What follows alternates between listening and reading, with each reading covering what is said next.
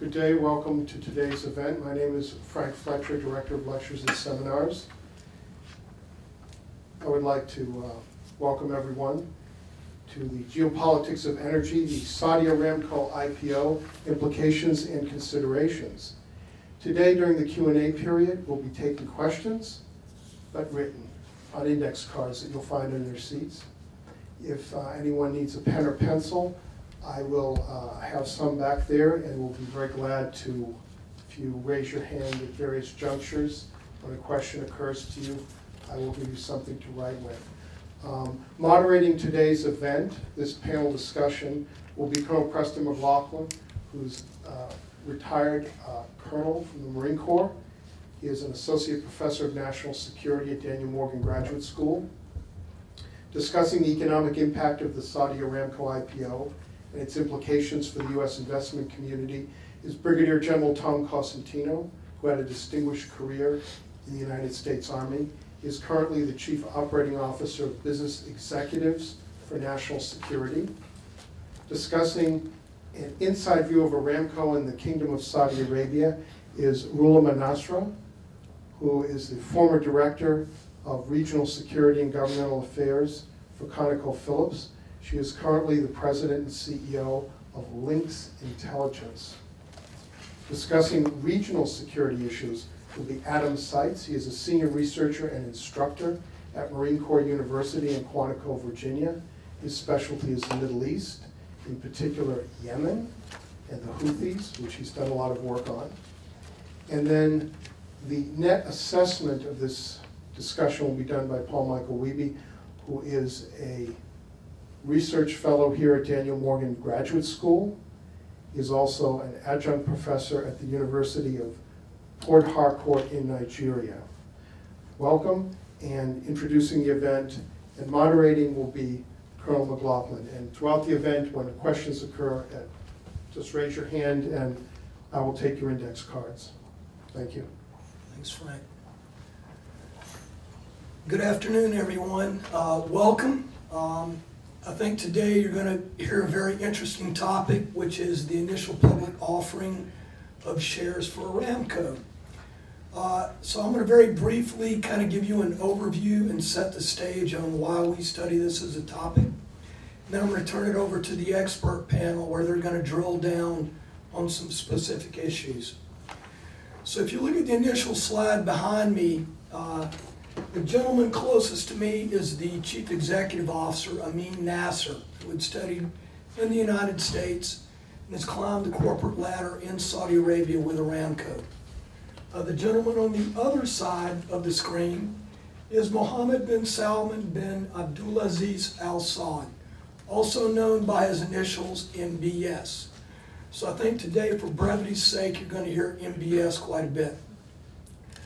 So the implications of the IPO is what we want to discuss. We here at Daniel Morgan look at energy as an integral part of national security affairs. A lot of times a country's national security policy may be inextricably tied to its energy policy.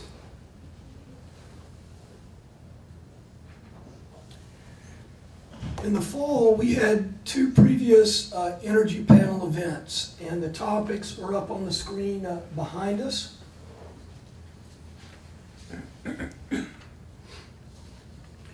And out of those panels, we came to some conclusions. In today's world, security issues are much, much more complex. Governance issues are more complex. And one of the things we discovered with the other panels is that inside the North American bloc, with the United States, Canada, and Mexico, we are doing much better in the energy sector than we were a couple of years ago. So it also has a calculus on our national security policies. Uh, most of us in the room can remember the uh, OPEC oil crisis in 1973. a lot of us can also remember the 1988 reflag Kuwaiti tanker war, uh, and then also Desert Shield, Desert Storm, which were direct impacts on American national security when it came to energy in the Middle East. But now I think we are a lot more uh, stable in our energy picture, so that impacts also our security policies.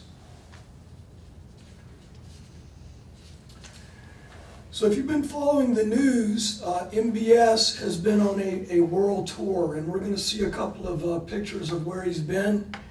But uh, in March, uh, Reuters put out a story uh, stating that he was going to go out and meet with people to help him think about his vision for the future, charting the future for Saudi Arabia.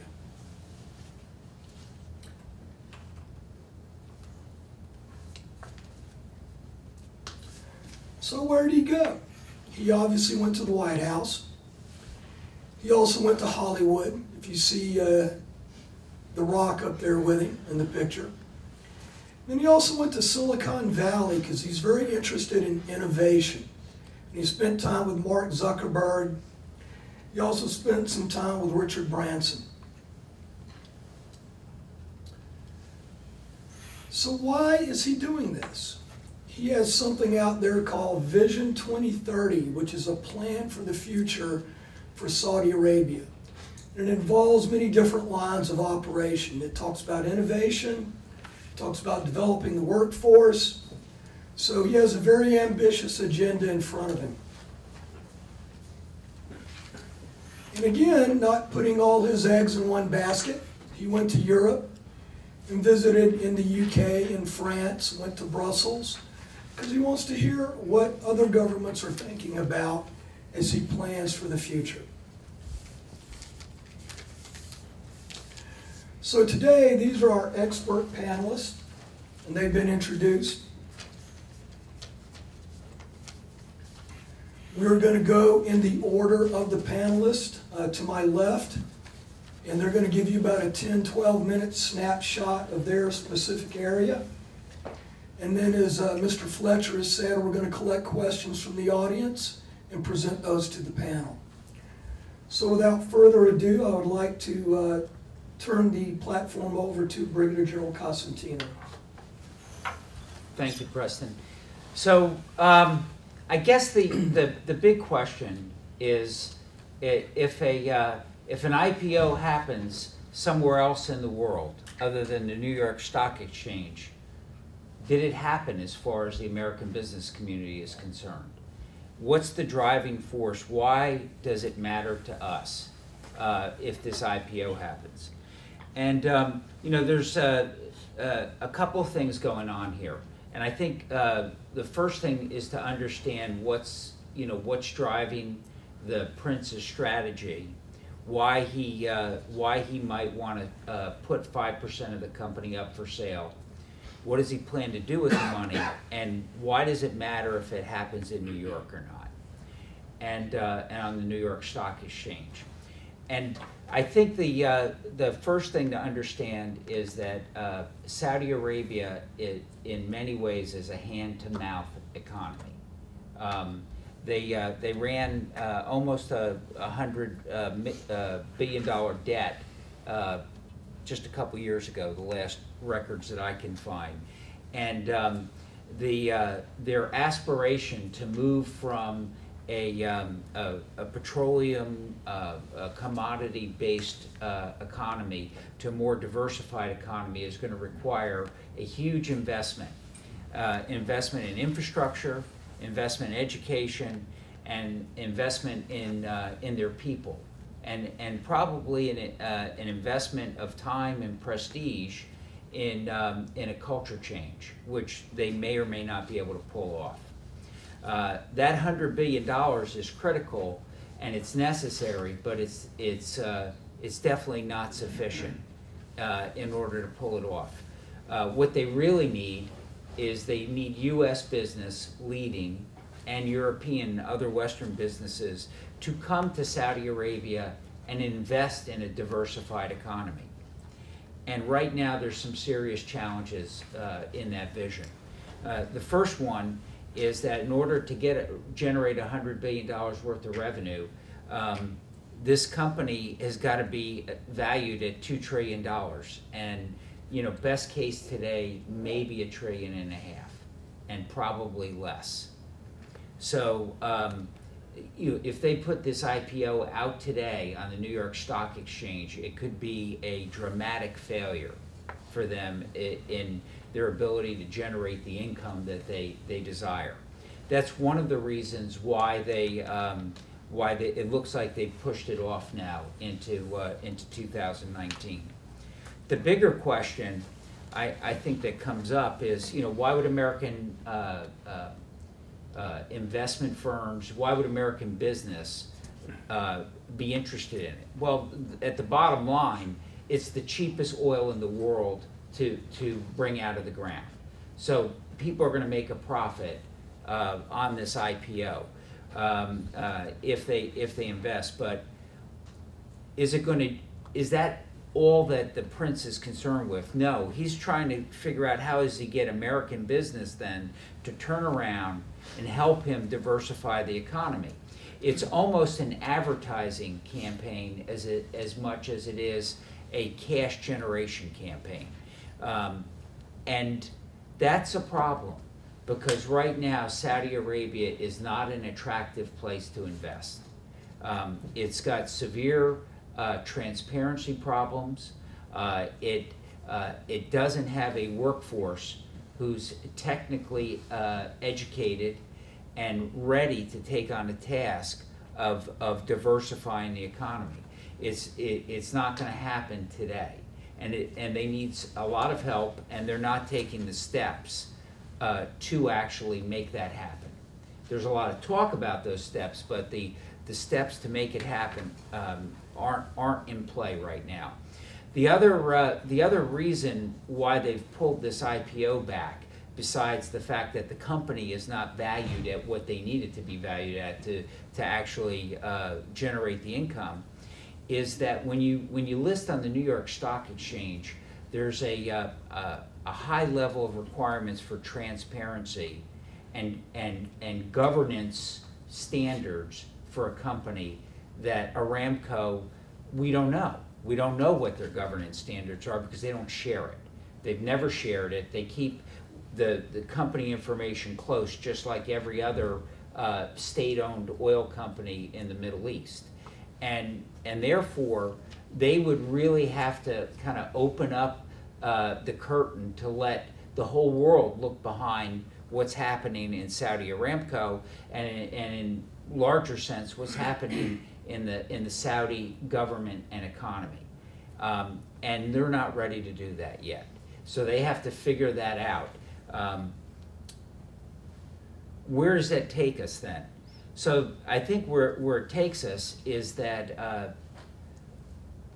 I don't know if they're going to list it on New York Stock Exchange. I think Prince Mohammed bin Salman is committed to um, to an IPO uh, and committed to generating these resources to do the infrastructure builds, the education change, and the reforms that he wants to do. But I don't think he's going to put it on the New York Stock Exchange as of today. I think you know more likely maybe the Chinese buy it for cash, uh, or it goes on the exchange in Singapore, someplace else, and then that leads to the question: Yes, he got the money, but what gets American business into Saudi Arabia? There are many more places around the world, including today the United States, that are more attractive for for U.S. businesses to invest in than Saudi Arabia where the conditions are already set from a regulatory standpoint, from an educated workforce, from an infrastructure standpoint to make a profit. Now, there are other areas in Saudi Arabia that could be exploited, uranium mining, and, uh, but then we're back to commodities. And we're not actually putting uh, the workforce, uh, we're not generating the six million jobs that he wants to generate. Um, so this is a challenge, and um, I'm not quite sure that the Saudis have a strategy or plan to work through the challenge. Uh, if they want U.S. and Western business to go to Saudi Arabia to, to invest in labor intensive um, uh, downstream industries, it's going to take actually real reform and a real commitment and a re education of their workforce to be committed to work, you know, work a full day, to, to get their hands dirty and, and do work you know, manual labor, um, to, uh, to get the uh, educated classes trained and, and uh, you know, uh, embrace a culture of, of uh, dynamic change, which, which includes a, a um, you know, probably a much more uh, busy culture right now than what they have when it comes to their workday. All of these are challenges for the prince, uh, and I'm not sure how he's going to uh, how he's actually going to lead and pull those off uh, uh, right now. So, what does that mean?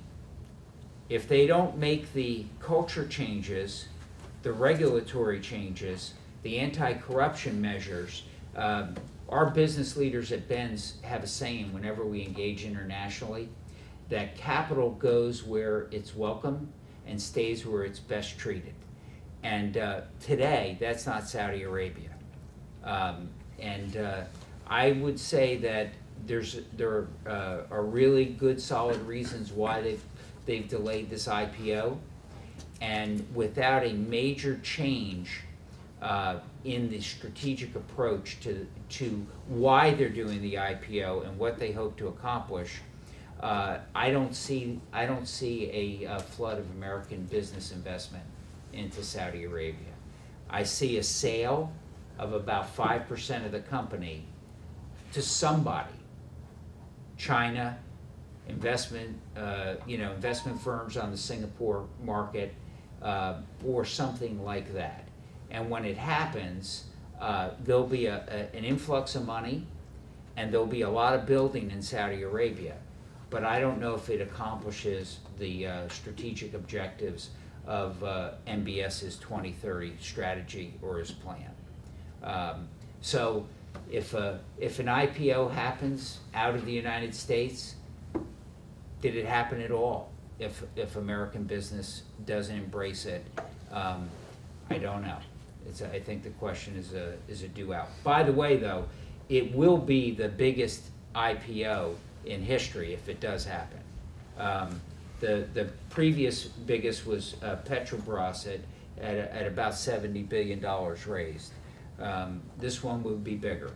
And, um, you know, we'll see. Okay, that's, I think, enough start.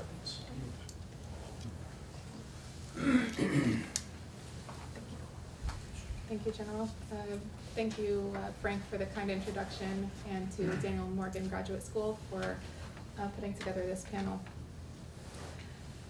So, a picture speaks a thousand words, and um, I want to point to the beginning of the bilateral relationship between the United States and Saudi Arabia. 73 years ago, on a very special Valentine's Day, um, this picture was taken uh, for a meeting between President Franklin Roosevelt and King Abdulaziz ibn Saud of Saudi Arabia. And many people view this historic meeting as the beginning of bilateral relations between the United States and Saudi Arabia. But the reality is, it actually extended almost a decade earlier um, into uh, the 1930s when Standard Oil was granted a concession by the Saudi government to be able to enter the kingdom, explore, and drill for oil. So that really marked the beginning of commercial uh, relationship between the United States and Saudi Arabia. The commercial relations have continued to prosper uh, throughout the years. Um, it's created opportunities within the Kingdom of Saudi Arabia, taking it from essentially uh, a Bedouin style culture uh, to one that had a thriving oil based economy.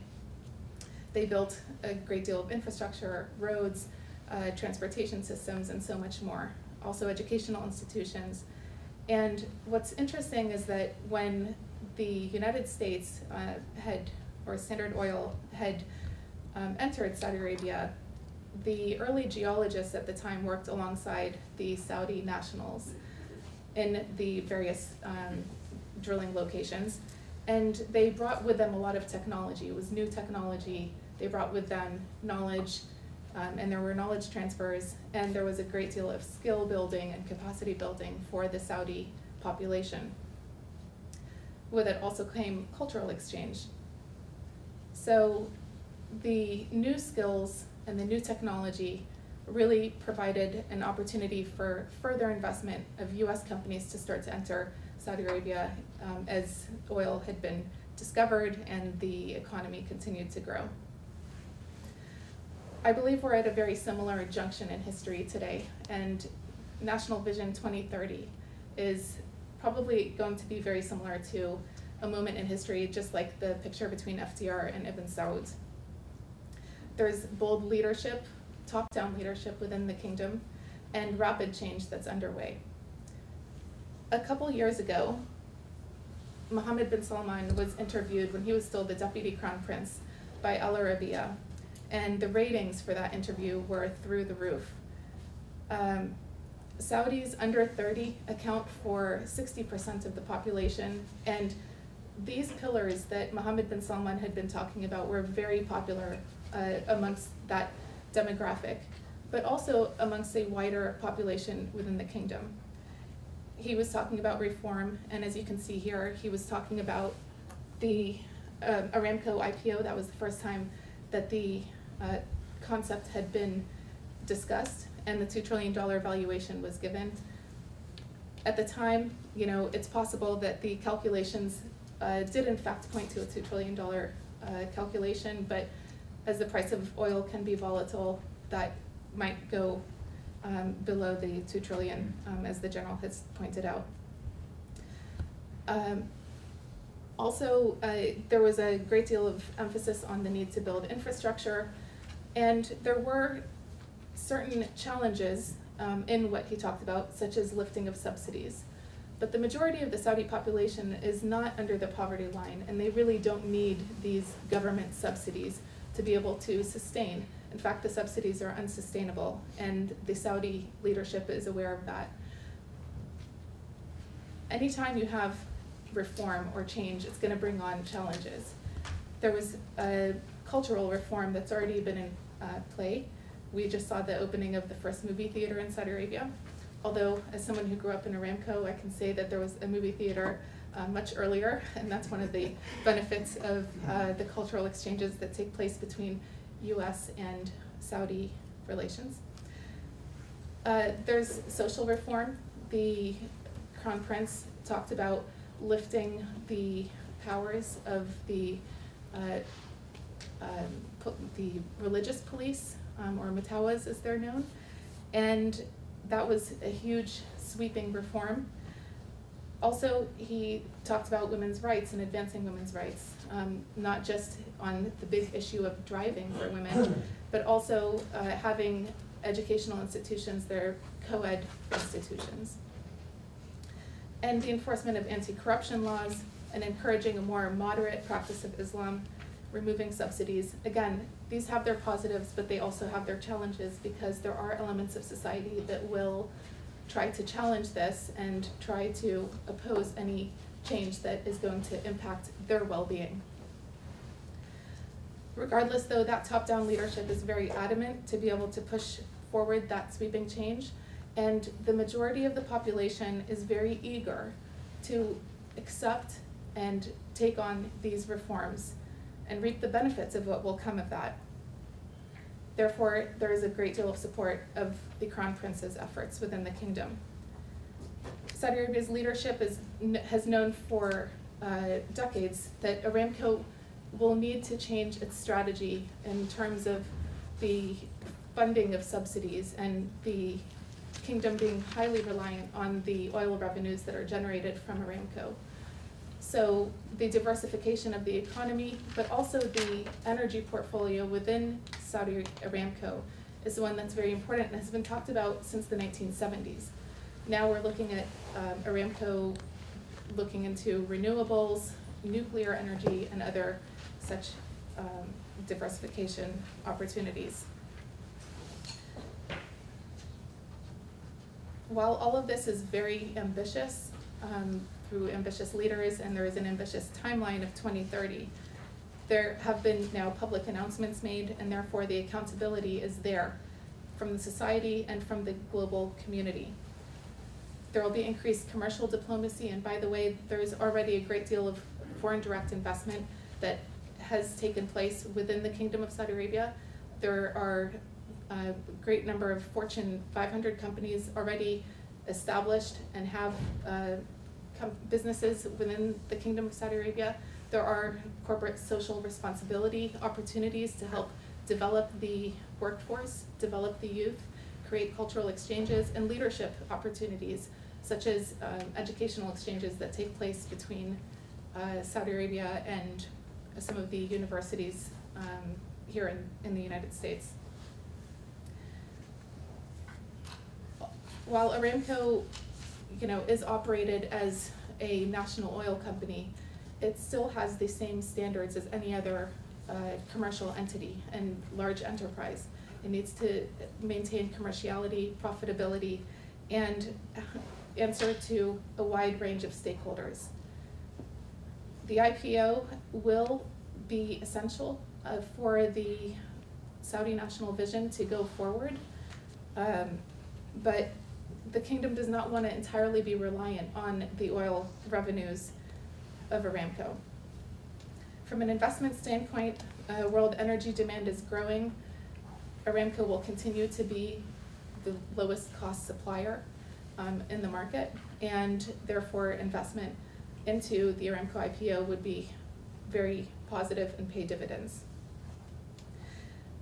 I do believe that the Aramco IPO will help fund the national vision and be able to move uh, the liquid funds into the public investment fund, which is really necessary to be able to invest both locally and um, outside of, of Saudi Arabia, even in the United States. And the two-way commercial exchange will be a very positive opportunity for the stakeholders involved. Pro- probably most exciting is the mega cities um, that Saudi Arabia has uh, started on plans for building, such as Neom.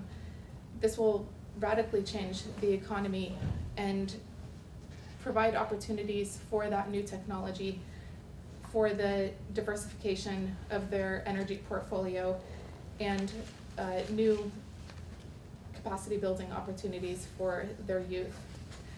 Um, just the national vision projects alone are expected to bring forward six million jobs for youth by twenty thirty. Um, this is really a tremendous uh, opportunity for the kingdom to be able to develop the skills of their workforce and their nationals, and it will give a great deal of satisfaction to the Saudi nationals because the current situation of growing um, jobless rates within the kingdom is something that can cause potential instability down the line if it's not handled properly. So there will be uh, a great amount of um, cultural opportunities, business opportunities, social reform opportunities, and my view on the future of Saudi Arabia is that it is looking up and up. Um, I think that there is a tremendous opportunity for great profit and uh, further investment within the kingdom. And finally, the robust geostrategic position of Saudi Arabia will be a site not just for economic reform and mega cities and mega reform, but also a renaissance throughout the region. Thank you.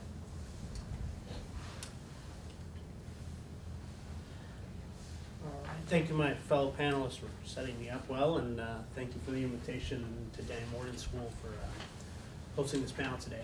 I've been asked to address uh, regional security issues today, and although there are many issues I could address, uh, I'm going to focus my remarks on the security situa- situation in Yemen and the security implications that has for the Saudi Aramco IPO and the Vision 2030 more broadly.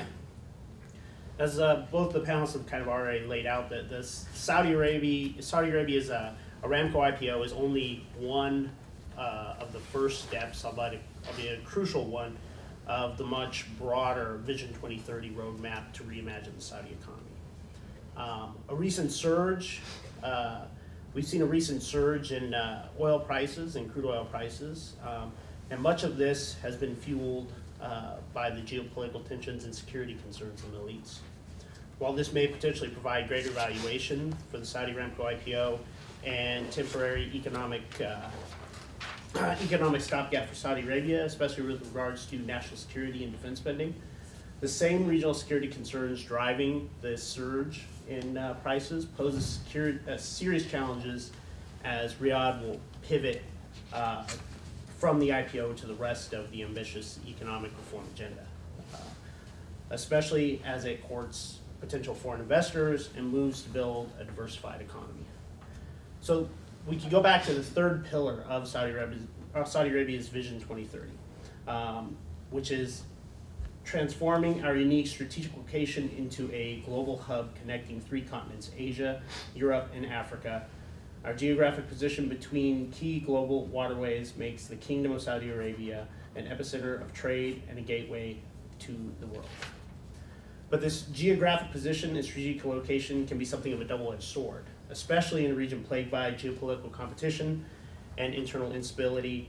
Uh, moreover, Saudi Arabia is not the only actor seeking to leverage its geographic position and strategic location to dig itself out of a hole. The ongoing conflict in Yemen represents a significant geopolitical flashpoint in a strategic corner of the region and a case that highlights the intersection of geopolitical competition internal war, and broader regional and international security challenges that Riyadh faces as it moves forward with the economic and social reforms in an effort to transform the Saudi economy under Vision 2030. So in a survey published by the EU in 2009, the most common response to a question, how is Yemen going to get itself out of its troubles? Uh, the most common answer was, we'll blackmail our neighbors. The statement uh, to me underscores both the domestic understanding of Yemen's economic dependence on external actors and foreign preoccupation with security challenges in southwest West Arabia. Such thinking plays a role in shaping Yemen's internal elite competition as well as domestic relations and, foreign, and its foreign policy. Moreover, as we're talking about the Vision 2030, this blackmail or neighbor, neighbor thinking does not bode well for Saudi Arabia, or Saudi Arabia as it embarks on realizing Vision 2030. For Riyadh, Houthi expansion, expansionism in Yemen is tantamount to Iranian expansionism along Saudi Arabia's long and porous southern border and potential Iranian influence along two of the region's most strategic waterways. For Tehran, the conflict in Yemen is a low cost, high reward theater, requiring few resources and providing ambiguity as to its involvement, while straining Saudi, Saudi Arabia and its allies politically, economically, and militarily, and distracting Riyadh from Iran's activities elsewhere. Uh, Tehran has been opportunistic and is uh, attempting to capitalize on this thinking of blackmail or neighbor that uh, uh in Yemen, this mentality, uh, along with the ambi ambiguity that the internal operating environment has provided. While the extent of Iranian support and influence in Yemen is, is debatable, there is substantial evidence of Iranian technology and weapons transfers to Yemen, including some drone and missile technology. Such transfers have had a significant Im impact on the threat perception and security calculus of Saudi, Saudi Arabia, as well as the strategies of various military, political, and tribal factions in Yemen. So, on the slide here, this is just to outlay some of this blackmail on our neighbor ID, this, this mentality, and how Saudi Arabia sees the threat emanating from Yemen, and how also Yemen sees Saudi Arabia. Um, so, with an Aramco refinery complex at its anchor, the Jazan economic city in southwest Jazan province has been described by Aramco as pivotal, pivotal in delivering the economic transformation in the region and attracting foreign investment, and is considered a springboard for the economic diversification under the kingdom's Vision 2030 economic roadmap. And Jizan, if you can see on the map, I don't know if this will, uh, good. Jizan province is right here, which is kind of a problem as we talk about Yemen and security challenges. Uh, the 400,000 barrel a day facility is expected to be fully operational in 2019. Um, however, again, Jizan province uh, borders the Sada province in Yemen, which is the stronghold of Houthi rebels and has seen and, and thus has seen significant spillover and targeting uh, by the Houthis. Um, so almost a year ago today, Saudi forces foiled an attempted attack with a remote-controlled boat laden with explosives on an oil production distribution center in Jizan. And while recent missile attacks targeting Riyadh have made a lot of headlines, Jizan, owing in part to this proximity to Yemen, has continued to see a more constant uh, barrage of attacks from Yemen. In recent months, attacks targeting the oil industry and civilian areas in particular uh, have been on the rise in this region. It is not only the number, which uh, now number over 100 missile launch uh, missile strikes uh, over the past three years, and the increased range, of course, uh, targeting Riyadh but also, what may be more worrisome is the diversity in terms of the methods and delivery of these attacks, ranging from artillery and missile launches to drones and remote controlled boats. There recently two drones intercepted, um, and those drones, uh, that technology uh, see, seems to have been transferred from Iran. And those drones can be used for surveillance, but also for targeting air defenses. So, uh, and, and would be hard to intercept in that way.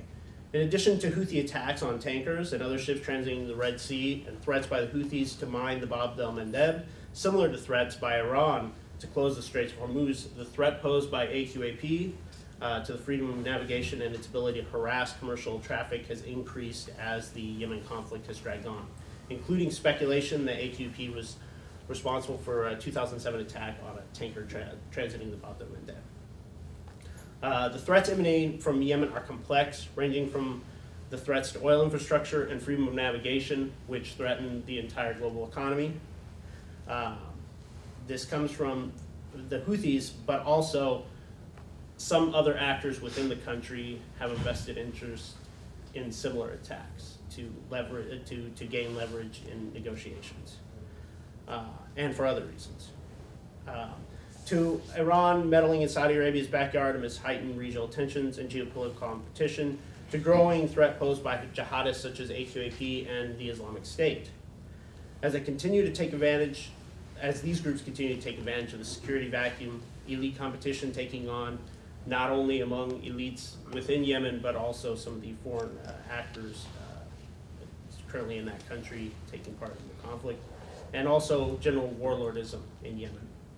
Uh, such threats pose significant challenges to Saudi Arabia's, Saudi Arabia's Vision 2030 roadmap, not only by diverting economic resources, including the potential sale, the, the, the revenue from the potential sale of Saudi Aramco, uh, but uh, which, which all of this is needed for infrastructure pro projects and reform efforts to spur investment uh, and also attract foreign investors uh, for industries beyond the oil industry in Saudi Aramco.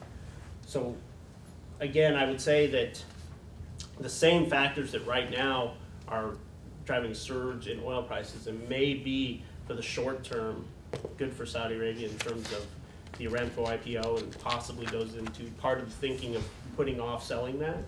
Um, will pose serious challenges as it moves forward for, with Vision 2030 as it tries to pivot back to uh, gaining the investment and working over investors trying to get uh, trying to uh, invest in infrastructure projects and diversification efforts in the economy. So um, I'll leave uh, that here and, and, and welcome questions. Uh, and, and those questions can be on, be beyond the Yemen uh, issue as well. So.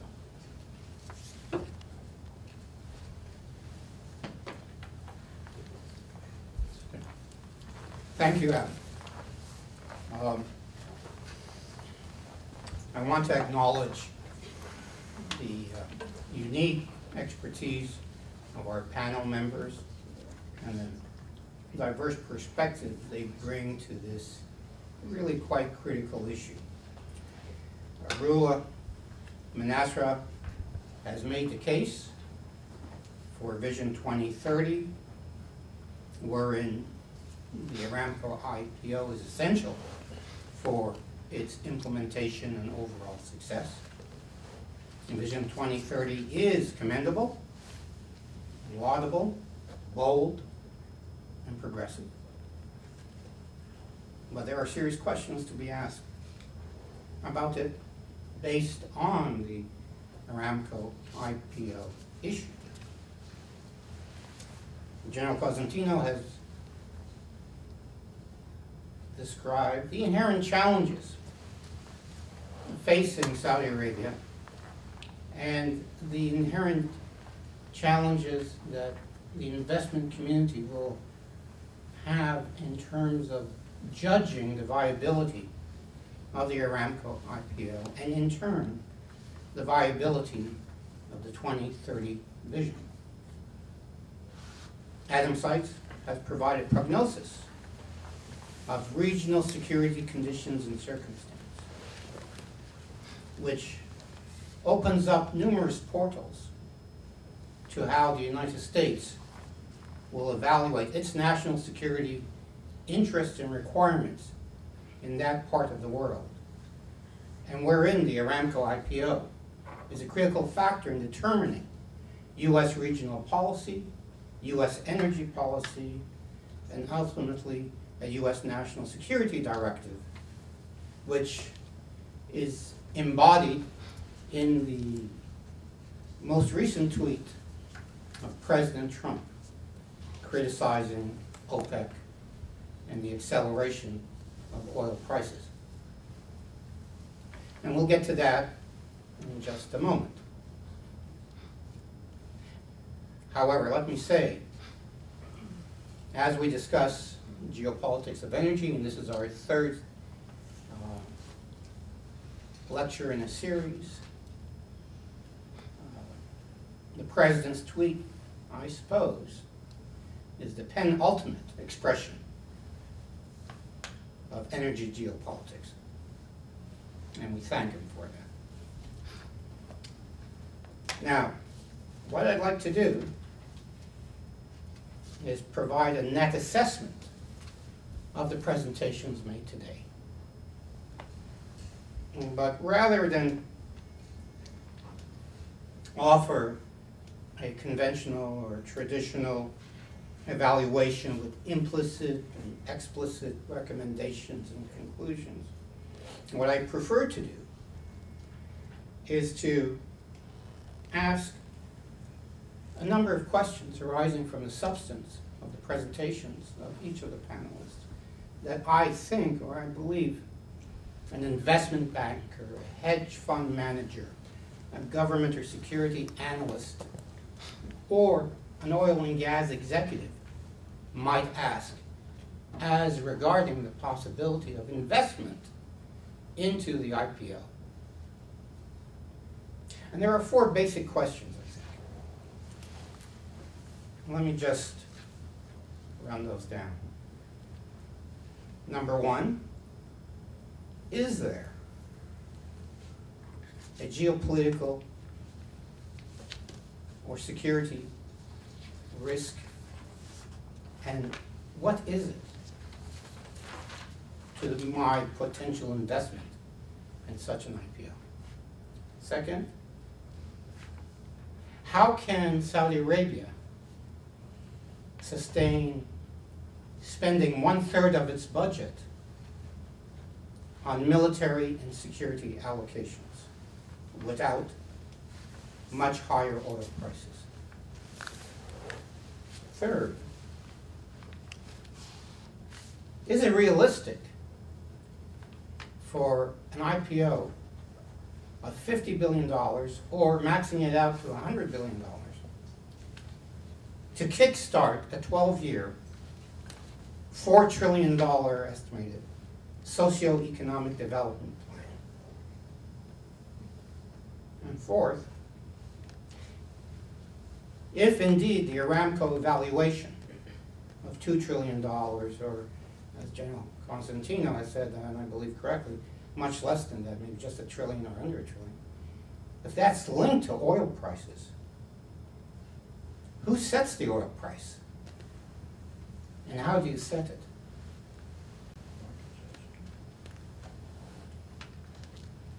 Going back now to that first question, the geopolitical and security risk factor. From the American perspective, why would the investment community commit itself to the IPO when Saudi Arabia is in fact the epicenter of four cold and hot wars with four of its neighbors, namely Syria, Yemen, Qatar, and Iran.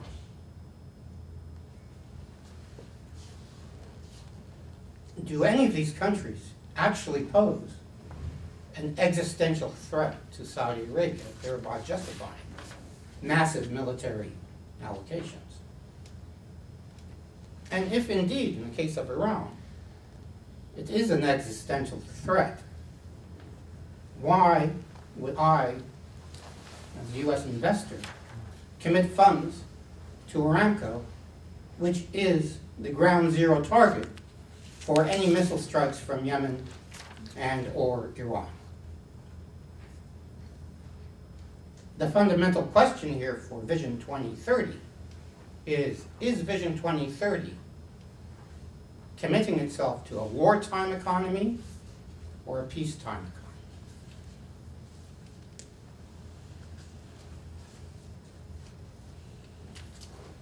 economy? On the second question and related. The 2018 budget for Saudi Arabia is estimated at $260 billion US, of which approximately $80 billion, almost one-third, is devoted to military and security spending requirements, creating additional deficit, primarily arising from the war in Yemen.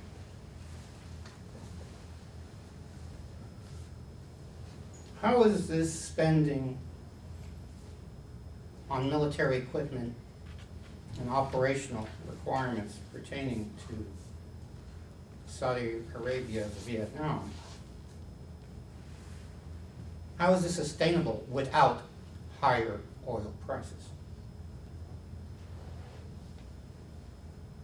And is this indeed the reason for Saudi Arabia leading OPEC, OPEC plus Russia, to move prices higher by capping production levels? That's different than capping production levels in order to move the market. If you're capping production levels in order to sustain a war effort, then the risk premium goes much higher. And credit agencies will have a field day with the ratings. And they are, in fact. And with this in mind, who can guarantee the higher oil prices that Saudi Arabia needs to sustain 2030 vision and to continue its wartime economy?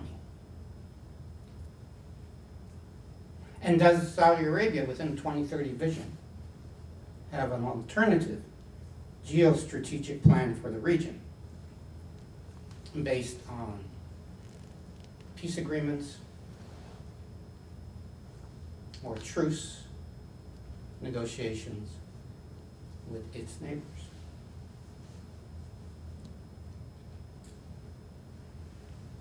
Show me those, and I might show you greater investment into the IPO. Third question. We already have models released through Bloomberg and through the Financial Times, where the valuation of Aramco is pegged at almost a trillion dollars, instead of two trillion dollars that has been discussed. That two trillion dollars is pegged to one hundred dollar a barrel oil or higher. And keep in mind this tweet by President Trump when I mentioned these figures. So the Aramco valuation is to be based on the oil price. And a high oil price in order to achieve the one bill, the one hundred billion dollar draw. Problem with that is you have to sustain the oil price at that level. in order to secure that type of investment, whether it's from the Americans or the Chinese or anybody else. And the last time, or the two uh, times we saw oil reach $100 or more, 2008, 9, and then 2014, we had a crash in oil prices. 2008 led to recession. Keep in mind what the president has tweeted. In other words, the push for higher oil prices, which is being engineered by Saudi Arabia to try and secure the $100 billion on the IPO and maintain its wartime economy, is not sustainable from an economic point of view, based on precedent in the oil market. There's too much oil slushing around in the market. The geopolitical aspects of the market, bombing oil pipelines in Libya, stopping Canadian uh, heavy crude from reaching markets, almost 2 million barrels are now stalled because of regulatory and legal challenges. All of these issues indicate, in fact, that the real price of crude oil is much less than what it is that the Saudis need to validate the IPO and to sustain their military spending.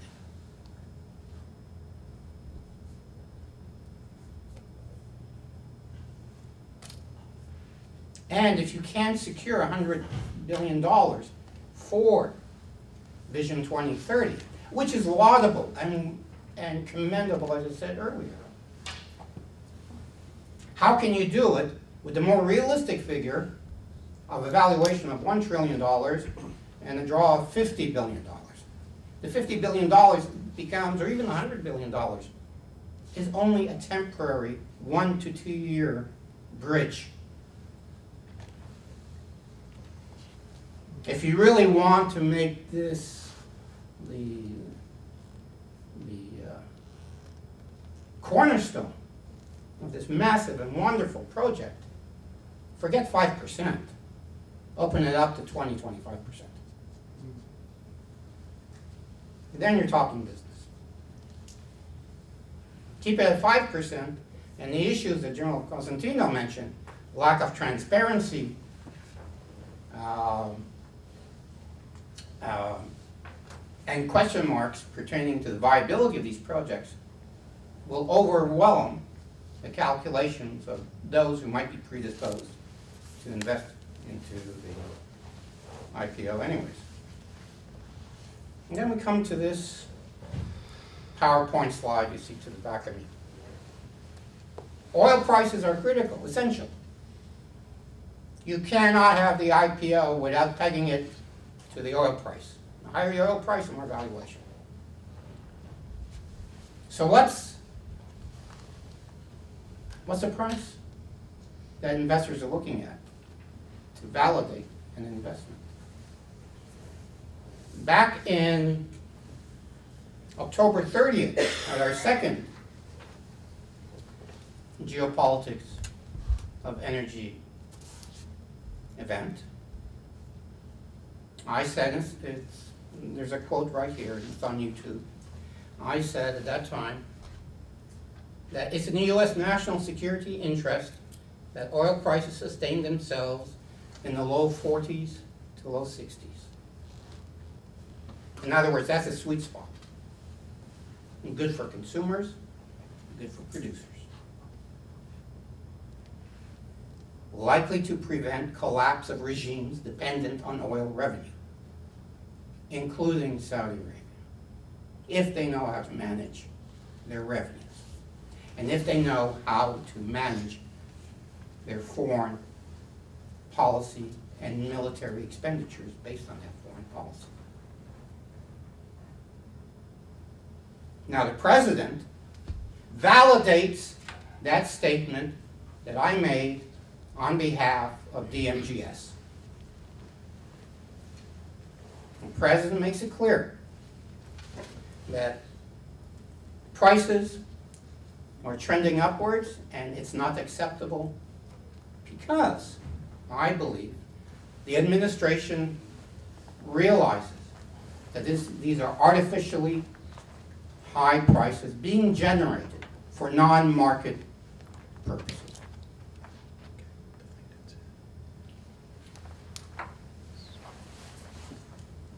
Can the US, can this administration affect oil prices?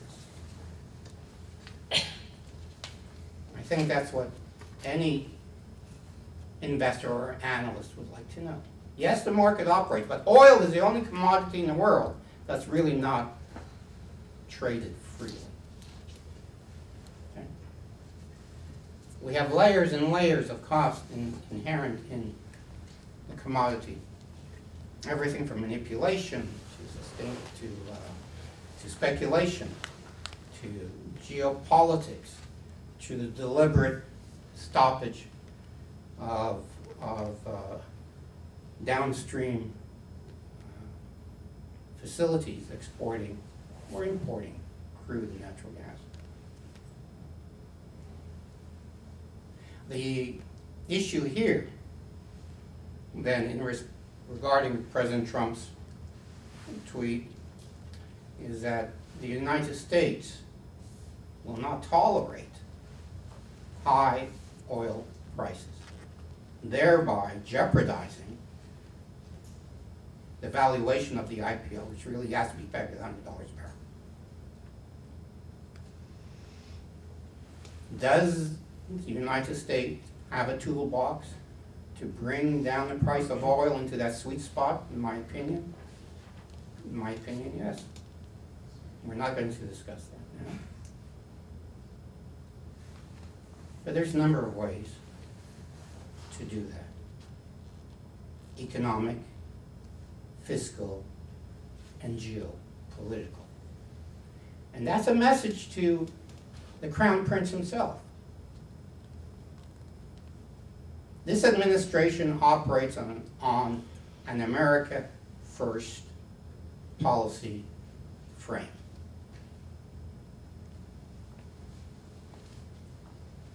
This administration wants low priced energy sources, low priced gasoline, low priced diesel, low priced fuels for industrial and commercial expansion and growth and job creation. You're not going to get that with $80 barrel oil or $100 barrel oil. Now, will the Saudis listen? And will they try to reach an accommodation on oil prices? Or can they depend on Russia, which is a critical partner in keeping prices high? We have a lot of options here, as far as I'm concerned, that can be exercised to address these issues. So Vision 2030, the IPO, all dependent on oil prices. And the United States is the critical pl- player in determining whether or not Vision 2030 will be implemented and whether it will succeed. Thank you.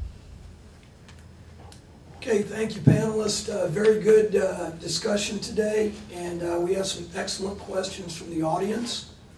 Uh, Some of these questions are duplicates, so I'm gonna, I'm gonna move them to the back of the pile. Uh, But I will try to get it to at least one question per card. Uh, Some folks were ambitious and had more than one question per card.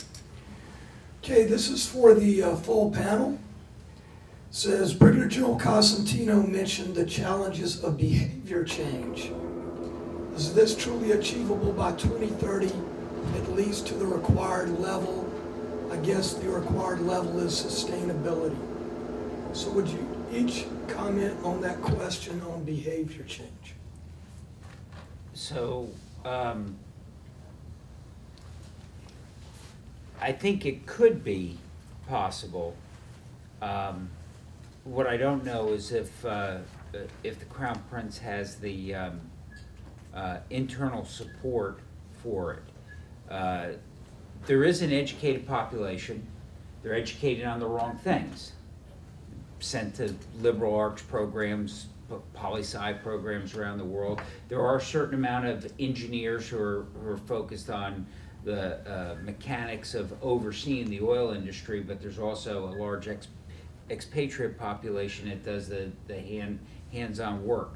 Um, Could they reform, um, uh, institute a cultural change? I mean, this is a huge, um, almost a huge turnover type of, uh, of uh, operation for a country as opposed to a, a company, where you'd have to, you know, uh, assemble the leadership, sell the strategy, uh, come up with a, uh, a very aggressive plan to educate at the, uh, uh, kind of elite level a different way of doing business uh, with a with a, a focus on um, free market and expansion, and then you'd have to get massive skills training down to those you know millions of uh, largely Shia Eastern Eastern Saudi Arabians.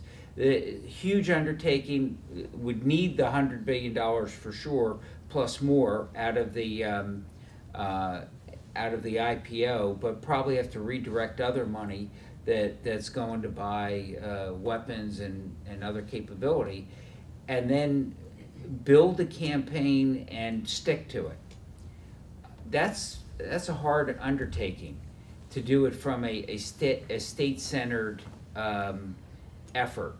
You know, in you know in a, in a free market economy of scale like the U.S., this happens in pockets, and some places fall by the wayside, and they don't adapt to the to changing economy. Other places adapt very quickly, but we have a benefit of of uh, having that kind of culture already built in in the U.S. and having scale. P- people could pick up and move from the middle of Ohio to Silicon Valley, or they can move to, to Georgia or wherever the, the opportunities are. That's going to be a challenge for the uh, uh, for settled uh, culture uh, like Saudi Arabia, and uh, it's going to it's going to require a, an extremely detailed uh, plan and an aggressive transformation strategy and the buy-in of the people. I also don't see how you can how you do that with only half the population. So you know we're going to have to go from way past um, uh, you know talking about letting women drive to uh, a, an education process for the women of Saudi Arabia, including skilled uh, skilled labor to get them into the workforce. Is is that possible? Yes, it's possible. Is it possible by 2030? I, I'm doubtful. Uh, I think a more reasonable approach would be to take an, kind of an ink spot strategy and focus on particular sectors of the economy um, uh, and uh, reform of governance, um, you know, governance processes, and try to work this, you know, over a multi-decade uh, time frame. Um, if it's sold right, I think that that would be very popular with the people, and uh, you wouldn't have to achieve um, what may be uh, unachievable goals by 2030. Rula, would you have any comments? Uh, Yeah, I'm, I agree with a lot of the challenges that uh, General Constantino pointed to. Um, But from a behavior change standpoint, I believe that uh, Saudi Arabia, especially the, the biggest population within Saudi Arabia being sixty percent below the age of thirty, um, they are already exposed to so much from a cultural standpoint, and they're yearning and they're eager for this change, and they're eager for the reform. Um, I think that, you know, with changes such as women being able to drive, um, you know, there is going to be opposition, and that's normal um, in any change environment. However, the corporate culture uh, that Western companies are used to has transcended into Saudi Arabia and already exists uh, in large part with lots of the multinational corporations that happen to be present there and employ Saudis. And Saudi Arabia has had a, uh national development program in place through the Saudization um, program and cultural exchanges, educational exchanges, that I, as I had pointed to. So I think that there is a great deal of potential, um, but it does need to be played right. And I just want to point also that Saudis are very proud of their culture. And um, if you look at the Emirates as an example, as a successful story of having built mega cities and transforming the landscape from desert into what the mega cities um, point to today. You, you see that uh, in Arab culture, they're still very proud of maintaining their heritage and their way of life, and it's a very interesting blend between US corporate culture and um, how we do business, and at the same time being able to uh, maintain what is important to the culture and the society. So the behavior change might not be what we're used to, uh, but there will definitely be progress in that area, and it's already started, and it will continue to grow in the future, in my opinion. Thank you. Adam? I would echo both my panelists, what, what fellow panelists said, but I would also say one of the challenges though with doing this, with moving to, you know, a Saudi workforce, there's the cultural change and, and everything else, the social changes, but also you're pushing out the foreign workers as well and, and, and changing that dynamic. So you're going to have other issues associated with that. We also see, you know, some of the reforms that have already been made have pushed some of the foreign workers out of the country. And some of those are Yemenis that have gone back and now have joined the, the insurgency in the north, the, the, the Houthi rebels in the north and others. So this creates other problems, um, aside from the cultural and social changes there that, that need to take place. Uh, so, um, that's, that's really all I'd add to that. Thanks. Paul? I'm fine. Good. Okay, next question is for Rula. Would MBS have pursued the much ballyhooed liberalization campaign at home independent of the impending IPO? I think that the Saudi National Vision 2030, um, which he's at the helm of, is absolutely something that was planned for and would and will go forward, um, regardless of the Aramco IPO. The IPO is a vehicle for funding the vision, um, but the vision is there, and again, a largely receptive uh, demographic and population that want to see this growth and beyond just Saudi Arabia as well. I mean, just to point to Neom as the mega city example, um, this is something that will transform that region, the geostrategic location of Saudi Arabia being on the Red Sea, and the opportunity that it will provide for Saudi nationals, but other Arab nationals from the region, is going to be an opportunity um, moving forward. Thank you. Okay, this question is for Adam. What is your assessment of the threat to Saudi oil infrastructure from missile attacks?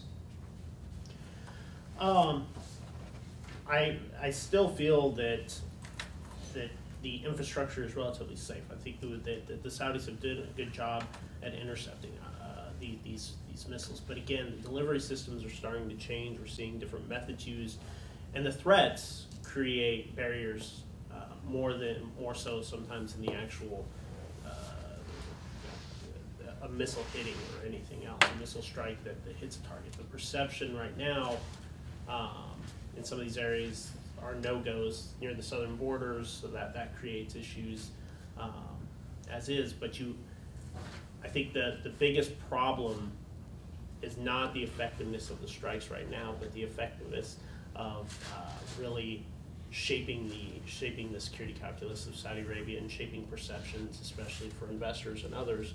So I, I would say that I don't think that, uh, you know, that the, the strikes are actually being effective in hitting targets and, and actually threatening oil infrastructure, but I think they are having an effect on, especially outside investors. Inside Saudi Arabia, I don't think this is a big, you know, it's, it's not really something talked about or anything else by Saudi. They have other things that, uh, they, they really don't see it or care about much. Even the strikes in Riyadh didn't really register as much in Saudi Arabia or at the airport, didn't, didn't really hit, hit too much, uh, uh, there. But I would say that the, the perception though is starting to grow that there is an issue. And especially I think for outside investment and others in the international community, um, this is a big deal. The, the oil tanker that was hit recently en route to, uh, to Egypt that had to go back to, that's an, that's another issue as well. I mean, these are all connected, but they're all part of a, um, strategy by the Houthis and other groups to, I think, uh, really change the calculus with Saudi Arabia vis-a-vis Yemen, so. Thank you. Next question is for Paul Michael. Is it in the national interest of the U.S. to break OPEC? It's in the national interest of the United States to reduce oil prices, and if, as a consequence of those actions, the cartel is split or weakened, yes, it's in the U.S. national security interest of the United States to do so. Are there ways of doing it? Yes, there are ways of doing it, not, not the least of which is the market operating the way it is as a consequence of the great success of U.S. shale producers of crude oil. The application of U.S. technology, creating unbelievable cost efficiencies. Those technologies, essentially exclusive to the United, States at this time, include automated offshore rigs, sensors embedded in drilling rigs, the fantastic LOOP, the Louisiana offshore oil port, which can now take Suezmax tankers, which go through the Panama Canal, and inject one hundred thousand barrels per hour into those tankers, you know, so it's industrial scale export of US crude to the Asian markets, taking away valuable, essential, historic market share from the Saudis.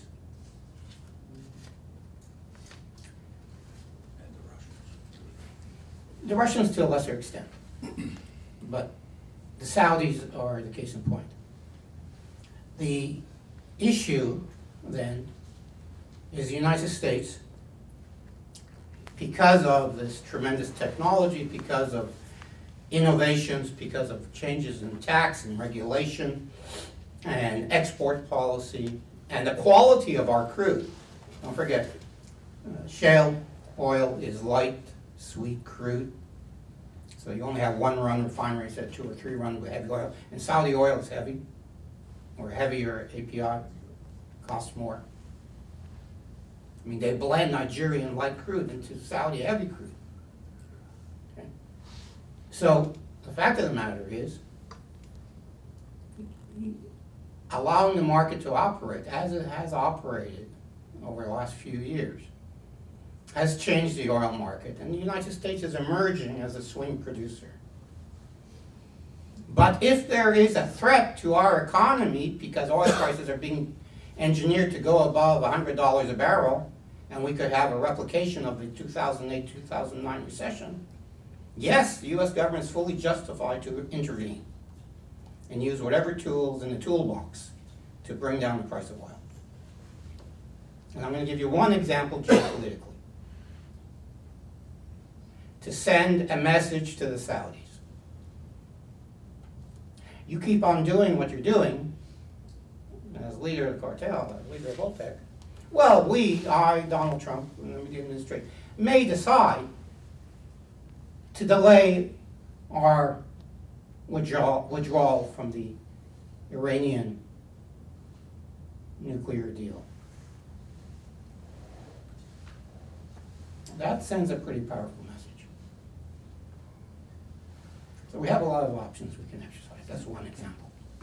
Can I offer a, yeah, so the only thing I would say on it is, we're part of the cartel now, okay? It's, uh, oil has actually become, um, uh, critical to our economy, uh, achieving the right balance, um, of, of price. And I actually think when, when Paul Michael said this at forty to sixty last year, that was probably the consensus. I think the consensus now is the, the right balance for the US economy, the way we're heated up, uh, the demand that's out there, um, the, the fact that we're operating at, at max, uh, employment is about sixty to seventy dollars. Because we're making a hell of a lot of money, uh, uh, from the, uh, it pumping into the economy from the sale of oil and natural gas. Um, so I, I would just, I, I wouldn't, I wouldn't put us as, it's the US against OPEC and the Russians. It's the US working with OPEC and the Russians to find a balance to, uh, to the appropriate price. And you're right, Paul Michael, any particular one of the, those players could try to seize an advantage and manipulate. But I, I think the ability to do that now, given the huge reserves that are clearly uh, capable of being tapped in the U.S. through uh, uh, shale drilling and technology, is gone. Nobody can manipulate the market right now anymore. It's everybody's. Somebody manipulates, you know. They're, they're not really it, it, the the uh, uh, it's all fungible and it's going to move um, around. We, you know, it, the prices, we don't, I don't know where the balance is, but there's a reason why we also let our reserves run down so that we can kind of get into, just like the Saudis did and the, and the Emiratis and the Russians, to try to get into this sixty to seventy dollar range where everybody's making money. Um, we're, we're actually making more money with less, because it's just a piece of our economy. Okay, for brevity's sake, we're at time, so I've got one last question I'm gonna ask each panelist to briefly comment on. Uh, Thank you for the questions, they were excellent. Good number of them, I think the panelists have answered them in some of the other responses. But the last question is, for consideration, could Saudi Arabia export crude oil to China? And has MBS visited China or engaged him on his world tour? What are the implications of China with the IPO? I mean, it's, it's a global market. Of course, they're gonna buy, the Chinese are gonna buy it wherever, just like, like everybody else does, wherever they can get it cheaper. I, I think the question of why would the Chinese maybe make a huge investment in the IPO? Um, uh, it's for the security of the oil, so that they have a partnership to get it when they need it. Um, but at the end of the day, you know, there's a demand and there's a supply, and and whether the Chinese buy from the Saudis or whether they buy from the Russians or whether they buy for, from us, from a market standpoint, is kind of irrelevant. It's fungible wherever it's at because we got plenty of supply. Um, so yeah, I mean they might because and and I I personally believe that's a good thing. Um, if they're buying from Saudi Arabia, the chances of conflict over the uh, South China Sea um, goes down because they have a steady supply of oil. Um, so it, it, you know, it's really it's a fungible uh, uh, situation. Uh, Saudi Arabia has been uh, China's largest um, oil uh, supplier um, and will continue to be an energy supplier to China. Um, if you look at the Chinese One Belt, One Road, um, they understand the importance of the geostrategic uh, location of uh, Saudi Arabia and Southeast Asian countries, et cetera, to be able to link um, the uh, oil supplies to China um, you know, there is growing demand in China. It's uh, going to be one of the uh, most rapidly uh, growing nations.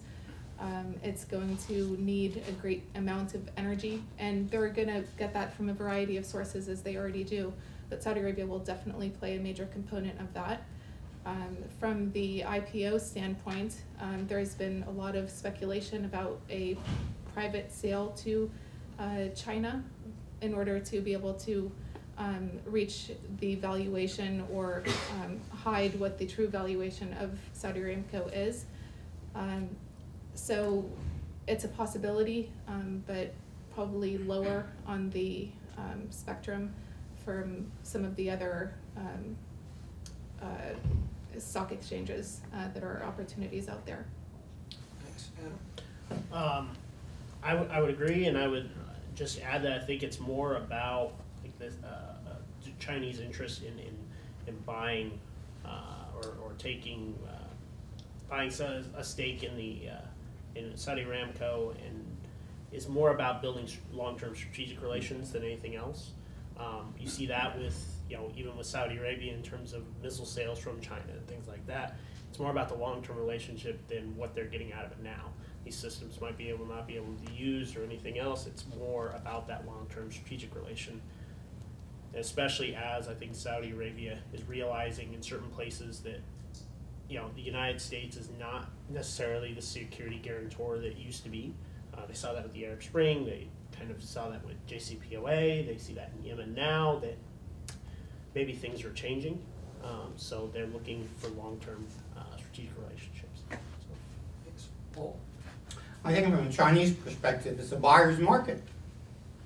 And as such, the Chinese are able to impose conditions uh, towards the possibility of a uh, heavy purchase of Aramco through an expanded IPO. Uh, The Chinese have the luxury now to purchase the crude they need from overland pipe from Russia, from tankers coming in from the United States, from Iraq and Iran, who both producing large volumes of crude to export to China.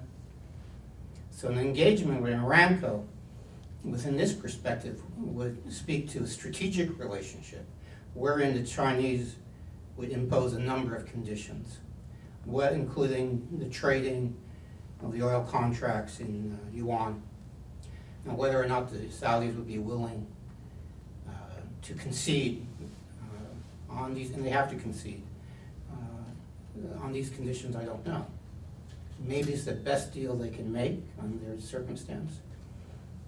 Maybe they think they can find other ways by which to secure the outside investment they need. We'll have to see, but bottom line, uh, the Chinese are in the driver's seat. Okay, let me give a thank you to our panelists.